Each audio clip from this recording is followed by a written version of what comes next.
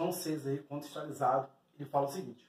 Alberto decidiu investir seu capital na compra de um terreno, sabendo que o comprimento desse imóvel mede x mais 5 metros e a largura x mais 7 metros. Determine o polinômio que representa a sua área.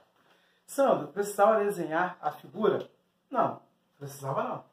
Tá? Não precisava de jeito nenhum. Mas vamos ilustrar aqui por qualquer critério aí que você ache necessário.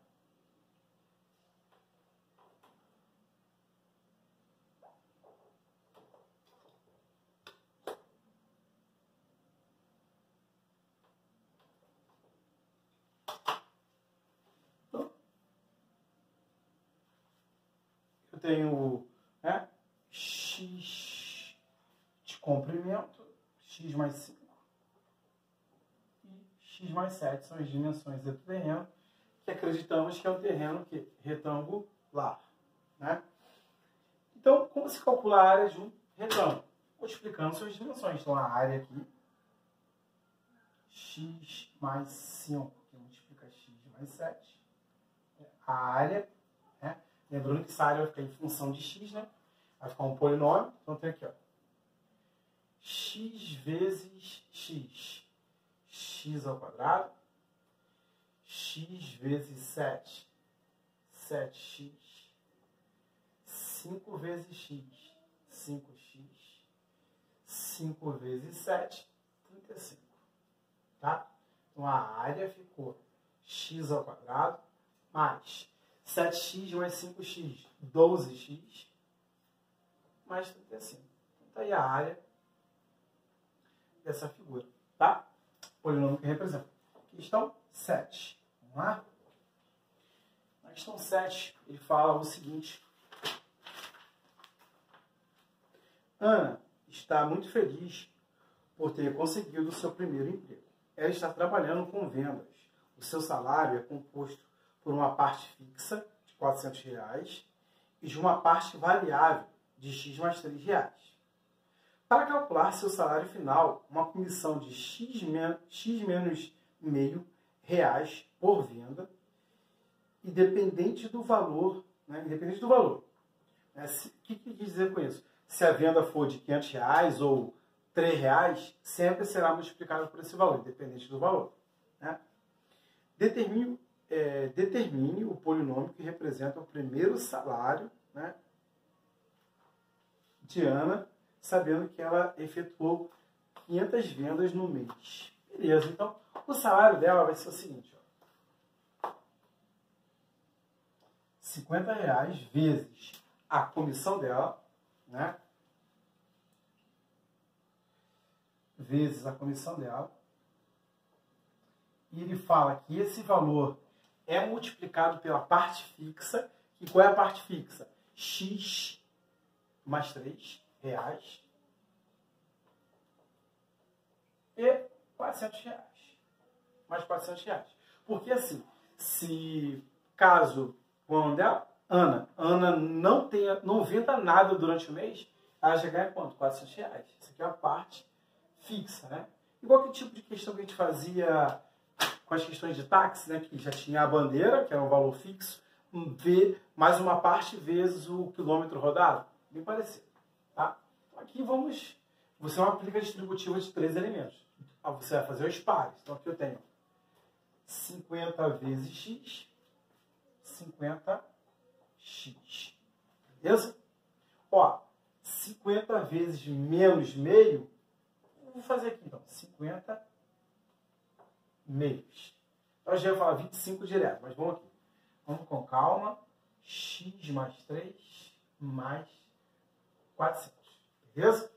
Então, eu estou ficando com 50x menos 25, que multiplica x mais 3 mais 400. Tá? Aqui eu vou aplicar a distributiva agora. 50x vezes x, 50x ao quadrado 50x vezes 3, 150x. Menos 25 vezes x, menos 25x. Menos 25 vezes 3, menos 75. mais 400 reais, que já era a parte fixa que ela ganhava. Né? Então, eu fiquei com 50x ao quadrado. Quanto é 150 menos 25? 125? Então, mais 125x. Sinais iguais, vou subtrair e conservar o saldo maior, maior positivo. Quanto é 400 menos 75? Isso, 325. Muito bem. Então, tá aí. O salário de Ana é representado por esse polinômio aí. Beleza? Vamos lá. Questão 8. Ah, questão 8. Olha o que está falando para a gente. Ó. É, Jair,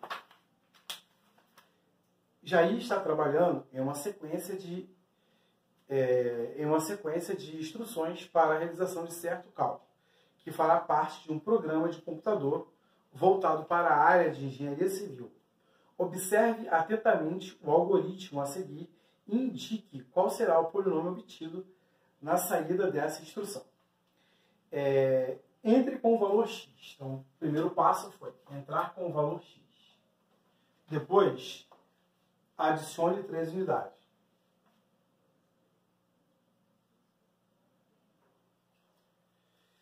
Estou ficando, multiplique o resultado pelo sucessor deste valor. Então, olha só. Cuidado, que o valor agora é esse aqui. Que é o sucessor dele. Então, uma, toma cuidado com essa questão. Mesmo quando a gente erra, já não é mais de matemática, é interpretação do problema. Aí não é só matemática envolvida, tá? Seria um texto, né? Mesmo quando a gente acaba tendo preguiça de ler, tá? Mas é importante a leitura, cara, tá? Então, o sucessor desse cara é ele mais uma unidade. Esquece isso não. Aquele cara já foi sem ação, já sei se é x mais 3, se o sucessor é x mais 4. Se você não viu, seria isso aí. Tá? Né? Então, vamos lá. Ver o que vai acontecer na saída aí desse cálculo aí. X mais 3, que multiplica. Aqui vou ficar com x mais 4. Quem já viu que era isso direto, já pulou essa etapa aqui, já escreveu isso. Quem não viu, fez da maneira que eu escrevi ali x vezes x, x ao quadrado. x vezes 4, 4x. 3 vezes x, 3x. 3 vezes 4, 12. Tranquilão? Beleza, né? Então aqui eu tenho x ao quadrado mais 4x, perdão, 4x mais 3x, 7x mais 12. Tranquilinho? Então, finalizamos a 8 aí. 1 para 9 aqui. Deixa eu ver se tem espaço para fazer ela aqui.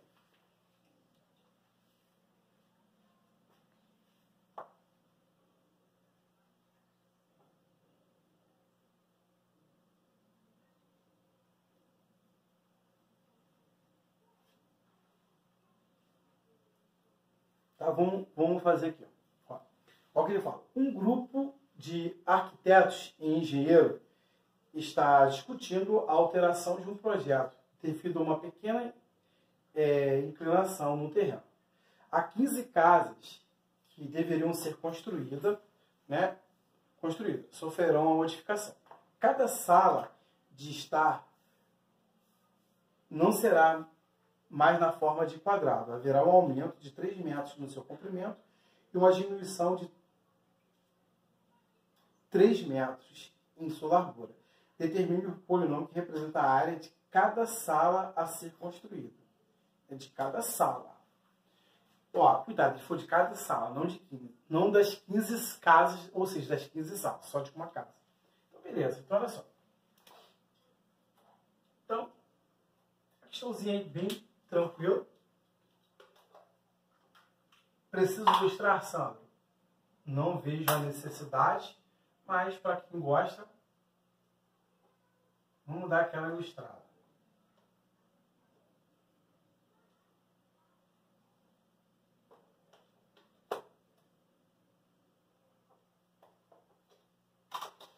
Olha só, beleza? Então, uma de, antigamente era um quadrado lá do x.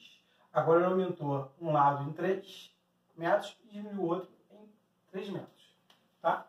Então, ele quer a área. Então, a área aqui é um retângulo com x mais 3 de comprimento e x menos 3 de largura.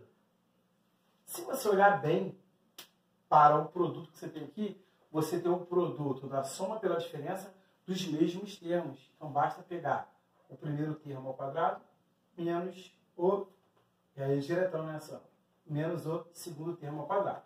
Então, beleza. x ao quadrado, x ao quadrado, menos 3 ao quadrado, 9.